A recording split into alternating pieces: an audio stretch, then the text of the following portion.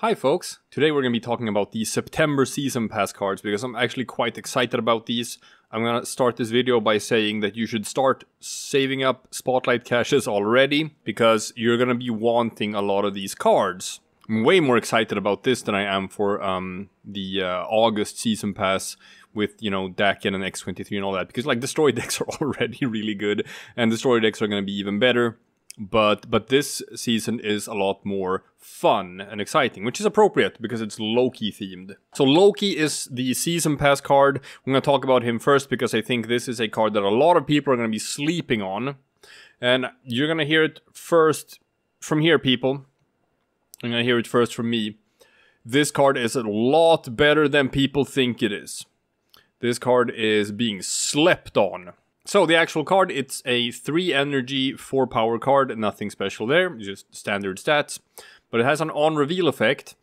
Replace your hand with cards from your opponent's starting deck give them minus 1 cost. You're gonna get a bunch of your opponent's cards, but you're gonna get them cheaper. I've played a lot of Hearthstone over the years, and there is a Hearthstone card that is a bit similar to this one. It is a card that's called Renounce Darkness. It is a Warlock card that makes you change class. You play it, you are no longer a Warlock. You're going to change to a different class with a different hero power, and you're going to get a bunch of random cards from that class that are going to be costing one less. Two things about Renounce Darkness. Renounce Darkness is considered number one to be one of the most fun cards ever printed. Like people love this card because just the just the randomness and the excitement and just coming up with new strategies on the fly. It's like it's so fun. It's so fun for gameplay purposes. It's just a treat. Number two, it is considered one of the worst cards ever printed. Despite the cost reduction, here is the secret. Deck building matters you don't just put random cards in your deck. You put cards into your deck that synergize with each other and are like good. You put the good cards in your deck. No one is putting Quake and Strong Guy and Crystal in their decks. They're putting good cards in their decks. So if you replace your cards with a bunch of random cards, you're going to get a lot of cards that are bad.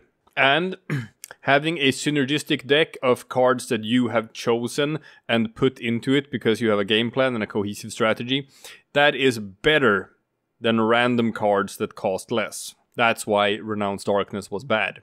But with Loki, you are not getting random cards. You are getting your opponent's cards. You are getting cards from someone else who has put together cards with a cohesive strategy and with a game plan in mind and good cards that synergize with each other. So now we're in a whole different ballgame, and this is actually a lot more interesting getting good cards and getting them cost reduced.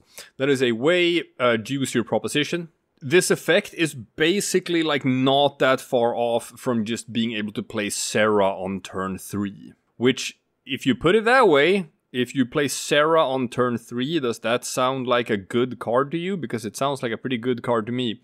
Now, it is obviously like you have to change strategy mid-game to account for the new cards you get. But that's why this card is so strong. I'm gonna say that like, for example, for Conquest, uh, this is one of the best cards ever printed. You know why?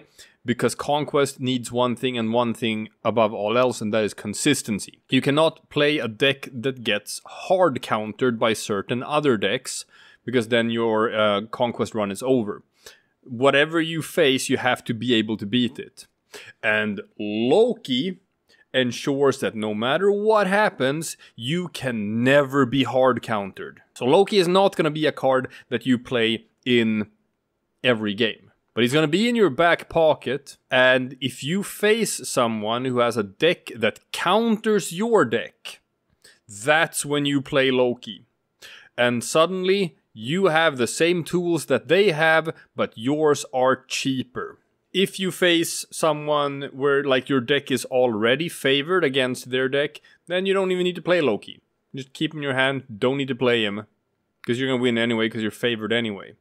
But in unfavored matchups, he can take an unfavored matchup and he can give you a chance to be able to win that game anyway. And that is like a really strong ability, and I think people are underestimating him. So I don't really think that you're supposed to build your deck around him. I know you can.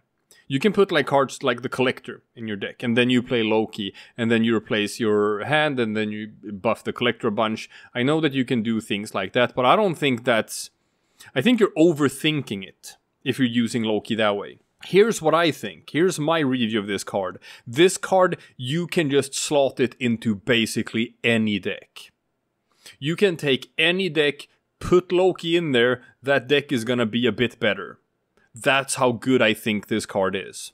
It's like one of the biggest, like, sort of like generalist cards I've ever seen. This, this card is gonna see so much play. It's gonna see so much use. Uh, which is cool for a card like Loki, which is just such an iconic Marvel character at this point. This is a good card. If you don't think this is a good card, then I hope I've been able to change your mind with this little rant, because holy shit, this is a good card. Moving on, Alioth. This card is nuts! 5 energy, 5 power, on reveal, destroy all enemy cards played here this turn, including unrevealed cards. What?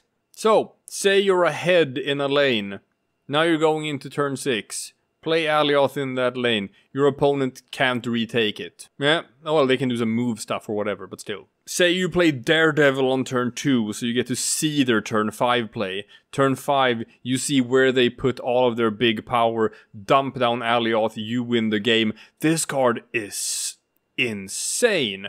I don't know what they're thinking. I don't know if this card is gonna be printed looking like this or if they're gonna nerf it or something along the way because this feels insanely strong. So the week where this comes out, Loki was the season pass card. This is going to be in spotlight caches, and this is going to be one of those weeks where it's like, well, you're going to want this card. you're going to want this card because Alioth is crazy, absolutely crazy. Or you can just think that this is like a very likely nerf candidate and hold off on it because it's going to get nerfed anyway. Because th this card is going to get nerfed. This is way too strong.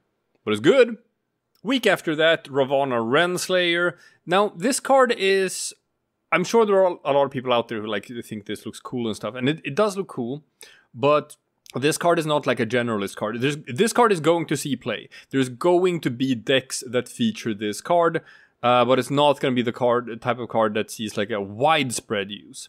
But there are a card, couple of cards here that you want to cost reduce uh, cards that have very low power. You can use this with Arnim Zola, you can use this with Mystique.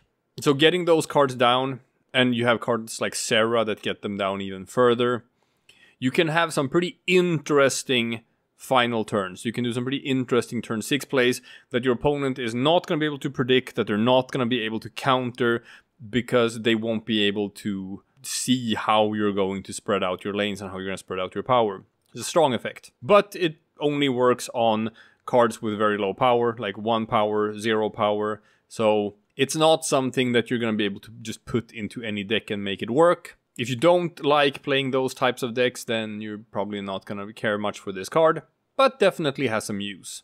And finally, we have Mobius M. Mobius, and I love this card. I love this card. And it might not even be good, but I love it. Here's the deal, people the most dangerous thing you can do in a collectible card game is cost reduction. So much of a card game's balance is just, you know, focused around cards costing what they are supposed to cost. Uh, that's how you balance your cards. Hulk has this amount of power because he has this cost. Iron Man has this amount of power because he has this cost. And being able to manipulate costs is how you can do unfair and nutty things. A great example of this would be a card like Mr. Negative, where you can just swap power and costs of all the cards in your deck.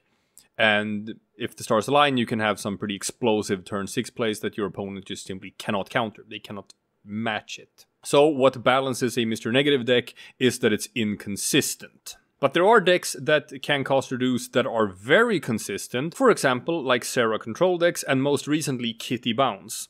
Uh, cost reducing Kitty Pryde, cost reducing a bunch of other already cheap cards like Hit-Monkey, and this has become the strongest deck in the meta. You have previously you've had cards like uh, Wave and Death synergizing with each other, so they had to change how Wave works because cost reduction is dangerous. And that is why I love this card, because It is so important for the health of the game itself that a card like this exists.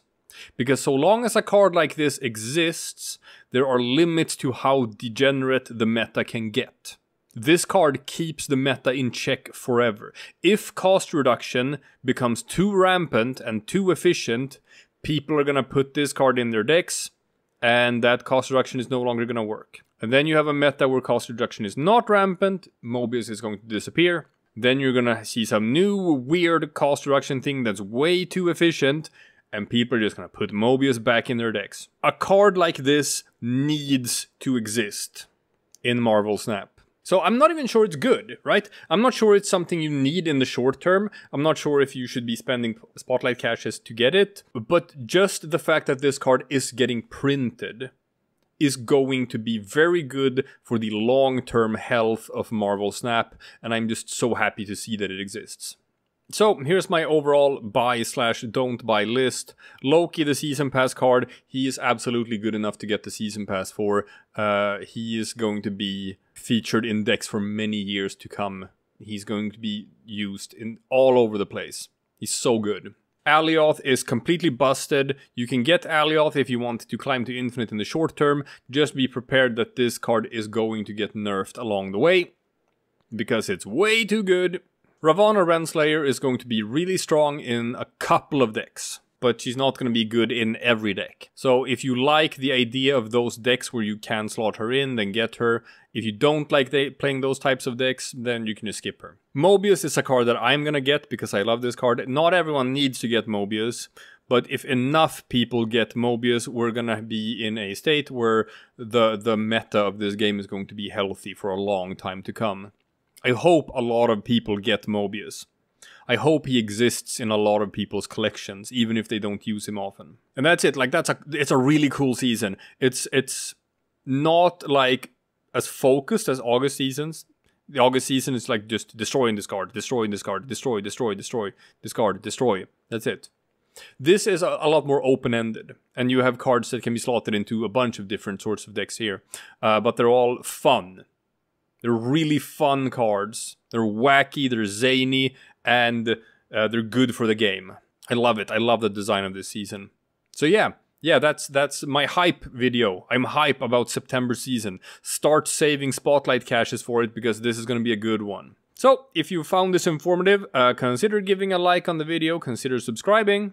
There's going to be more Marvel Snap content from this channel. Thanks for watching, and as always, I'll see you again some other time for something completely different.